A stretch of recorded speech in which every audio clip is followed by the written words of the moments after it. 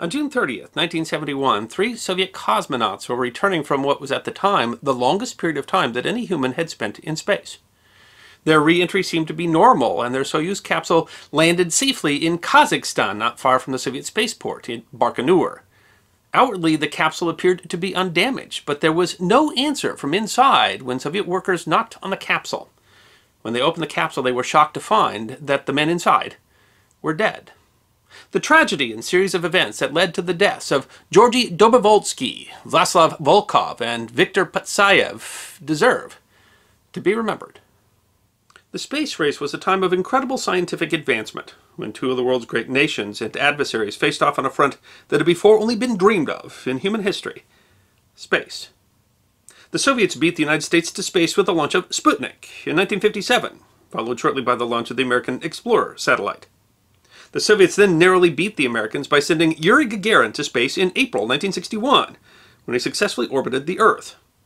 Alan Shepard became the first American in space on May 5, 1961.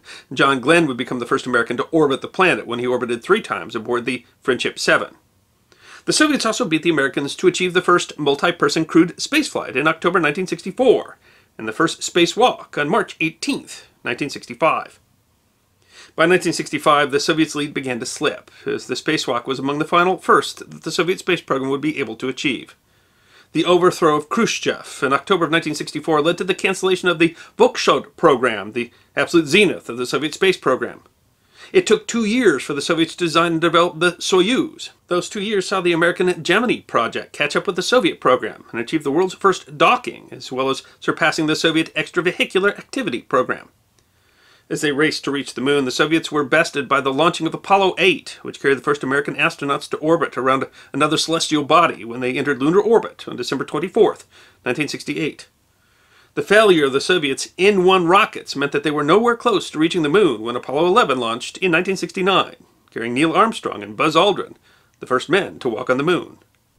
While NASA focused on a series of missions to the moon, the Soviets turned their attention to building a space station – Salyut 1, the world's first space station, was launched on April 19, 1971, successfully.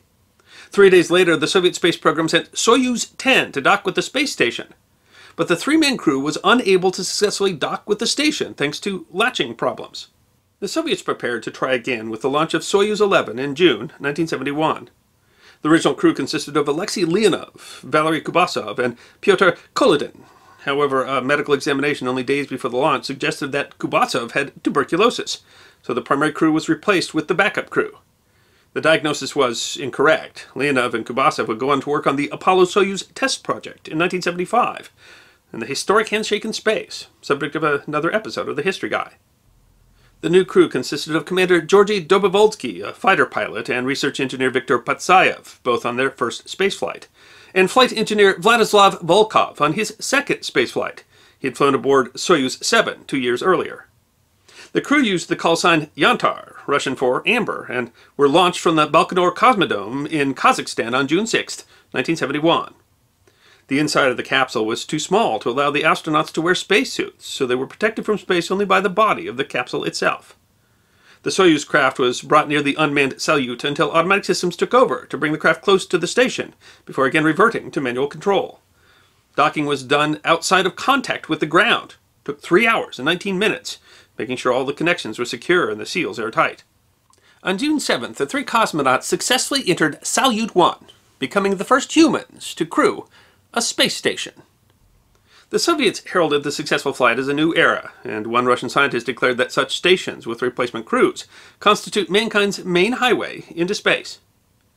With the connected Soyuz, the astronauts had about 100 cubic meters of space to do their work, conducting scientific experiments, exercising, and of course, sleeping. The station held the Orion UV telescope and a sun-watching telescope, a treadmill, video cameras for broadcasting live from the station, and various scientific instruments, including possibly a classified military radiometer. Upon entering the space station, the crew noted a smoky and burnt atmosphere and they had to replace some parts of the ventilation system. They spent most of a day back in the Soyuz while the air cleared. After that, the astronauts settled in to do their work. Patsayev operated the Orion telescope, which obtained ultraviolet images of the stars Vega and Beta Centauri, becoming the first person to operate a telescope outside of the Earth's atmosphere. The mission was something of a novelty for Russian space missions as it was highly publicized. State media provided constant updates, and the live broadcasts included the cosmonauts displaying some of the plants that they were growing, as well as a birthday celebration for Patsayev. Gifts included an onion and a lemon. The crew also found that the treadmill shook the entire station while it was in use. The stated mission was to assess the design, systems, and equipment on board, test the station's navigation systems, study the Earth's surface, operate the various scientific instruments, and study what effect living in space had on the cosmonauts themselves. The crew spent 23 days in space, setting records for space endurance that lasted until the launch of Skylab in 1973. The work was apparently monotonous, as Dobrovolsky complained in his diary. The crew was meant to witness the launch of the N-1 rocket, but the launch failed shortly after liftoff. The mission had generally been an unqualified success. On June 29th, the three men loaded up the Soyuz with film, experiments, and other gear and prepared to return. The capsule undocked successfully, flying in co-orbit with the station for a time before retrofiring to prepare for re-entry. Ground radioed, Goodbye, Yantar, till we see you on Mother Earth. Dobrovolsky replied, Thank you, be seeing you. I am starting operations. At around 2247 Greenwich Mean Time, before the capsule had entered the atmosphere, the work compartment and service module of the Soyuz were jettisoned. It was at this time that radio communication abruptly ended. During descent, radio communications were expected to be interrupted, but not so soon. Though there may have been concern back on Earth, the capsule arrived safely and according to procedure. The ground crew arriving via helicopter had no idea that the cosmonauts were already dead. When the ground crews opened the hatch, they saw all three men motionless. Their faces appeared bruised, blood was leaking from their noses and ears. They found that Dobrovolsky was still warm and immediately began an attempted resuscitation. First contact between the rescuers and mission control took the form of three numbers. One, one, one.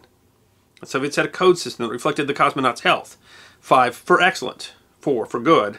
Three meant that they had been injured, two meant that the injuries were serious, and one, which meant that the injuries were fatal. The initial report from the Soviet Union focused mostly on the success of the mission, beginning with the brief news that TASS reports the deaths of the crew on the spaceship Soyuz 11. They offered no explanation except that an investigation was ongoing.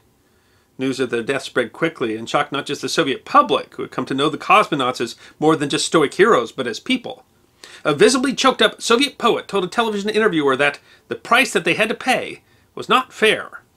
There were no heroes come home from a successful spaceflight, only funerals. Speculation ran rampant in the West, especially over fear that haunted many. My first worry, said astronaut Tom Stafford, then traveling to Belgrade, was that the stress of a long-term duration flight had killed them. Astronaut Deke Slayton wondered the same thing. Was there something about being weightless that long that could kill you? Previously, two cosmonauts who had been in orbit only 17 days complained that it took a week for them to fully recover. American experts were understandably concerned for the health of their own astronauts, soon to be sent up to Skylab. Those initial fears gave way to serious considerations. As soon most experts abroad were sure that the three had died of asphyxiation. NASA Dr. Chuck Berry suggested that inhalation of toxic fumes may have caused their deaths. In an encouraging sign of thawing relations between the U.S. and the Soviet Union, President Nixon offered that Tom Stafford be present at the funeral. A similar request had been refused only four years earlier. Stafford served as the official U.S. representative and as a pallbearer. The three were posthumously awarded the Hero of the Soviet Union medal and lay in state as thousands paid their final respects. All three were cremated and laid to rest in the Kremlin Wall, near Yuri Gagarin, who had died in an accident in 1968. It wouldn't be until 1973, after the beginning of the Apollo-Soyuz test project, that NASA scientists were given a full account of what happened during re-entry after examinations of the capsule and instruments aboard it, as well as the autopsies of the three men, the Soviets had determined that a gradual but catastrophic depressurization of the capsule after the other modules were detached had killed the men. A breathing ventilation valve had opened inadvertently at the time, as 12 pyro cartridges had fired simultaneously instead of sequentially, as they were designed to do. The combined force dislodged an internal mechanism, which was supposed to be discharged much later to allow the cabin to adjust to Earth pressure automatically. The valve opened at a height of approximately 168 kilometers, and pressure was lost steadily. It was likely fatal within seconds. There was a valve that could be blocked, but it was located underneath the seats and couldn't be reached in time, although positioning of the body suggested that the cosmonauts may have tried. By the time the automatic systems had activated and the capsule reached the ground, no amount of medical care was going to bring back the three men. It was determined that they had experienced cardiac arrests about 40 seconds after depressurization. Only 50 seconds after loss of pressure, Patsayev's pulse had dropped to 42, indicative of oxygen starvation, and by 110 seconds, all three were dead. Alexei Leonov, the original commander, had suggested to the three that they should manually close the valves before the modules because he didn't trust them to shut automatically. The three seemed to have chosen to ignore, or perhaps forgot, this advice. After depressurization had occurred, it would have taken at least 52 seconds, according to Leonov, to close the valve. Much too long for the three men to have done anything. Although certainly not the only ones to have died as part of a space program, the three cosmonauts are generally considered to be the only people to have died in space, as it was later determined that they died before they crossed the Kármán line, which is an attempt to define the boundary between space and atmosphere. And while there's some disagreement over that line, they certainly died farther up than any other human. However, their successful mission was important and meaningful, proving that men could survive in space for long periods of time, and including much of the technology that would lead directly to the Soviet Mir station and the International Space Station. It took two years before Soyuz 12 was launched, and by then had gone through significant reimagining both in the hardware of the capsule and in how it was used.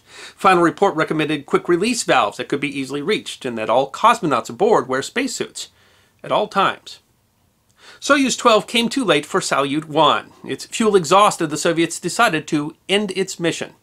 On October 11th, after 175 days in space, they fired the station's engines one last time for a deorbiting maneuver, and the world's first space station burned up over the Pacific Ocean. Soyuz 12 launched with only two men, so that there was room for the Space Falcon suits the Soviets designed. It affected NASA too, as changes were made even to the Apollo 15 mission, scheduling to launch only weeks later in July 1971. The astronauts were to wear spacesuits during their ascent from the lunar surface. NASA reported that the decision was due directly to a re-evaluation conducted following the Soyuz 11 accident. It was a tragic but important moment, which also marked a kind of end to the space race as the two competitive nations began to work together. In a statement, U.S. President Richard Nixon said, but the achievements of cosmonauts Dobrovolsky, Volkov, and Patsayev remain. It will, I am sure, prove to have contributed greatly to the further achievements of the Soviet program for the exploration of space, and thus to the widening of man's horizons. In 1973, the Soviet Union built a monument to the three lost cosmonauts and placed it at the location in Kazakhstan where their capsule landed, but it was rarely visited because it was such a remote location and apparently had been vandalized and destroyed by 2012. In 2016, a new monument was erected. It reads, The feat of the crew of Soyuz 11 will always be stored in the memory of grateful descendants. I hope you enjoyed this episode of the History Guy, short snippets of forgotten history. And if you did enjoy, feed the algorithm by making a comment or clicking that like button. If you have suggestions for future episodes, please send those to our suggestions email box. Check out our webpage at thehistoryguy.net. And of course, we're on Facebook, Instagram, and Twitter. You can book a special message from the History Guy on Cameo and check out our merchandise at teespring.com. And if you'd like more episodes of Forgotten History, all you need to do is subscribe.